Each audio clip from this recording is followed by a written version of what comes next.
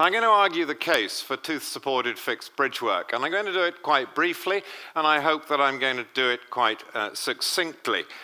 We are all in the same business, uh, whether it be uh, Ian Needleman, Graham Bailey, myself, all of you, what we're interested in is trying to maintain a dentition over an entire lifespan. What we can say at this point, because the evidence keeps on rolling in, that subject to good periodontal health and subject to good pulpal health, what drives the survival of the natural tooth will be the quantity and the location of the remaining tooth structure. That is evidence to us all.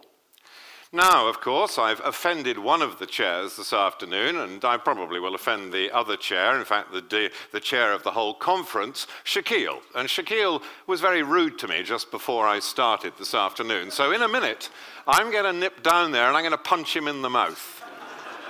now, I'm pretty good at doing this because people in audiences have been rude to me quite a lot over the years, and I can do this, and I'm going to avulse his maxillary right central incisor clean.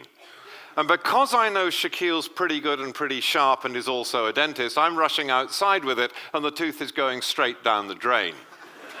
now, the rest of you better be careful because I am quite good at this one way and another, and you could suffer the same fate. But I am prepared to consider at this point that if the same were to happen to me, once I'd sued the individual, the choice of my treatment would be that, that, and then that. That's the way it would go, wouldn't it?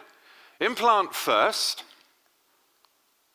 If you can't have that for some reason, the tooth supported fixed prosthesis, where somebody doesn't cut your teeth very much. And third place would be the one where you get your teeth heavily prepared.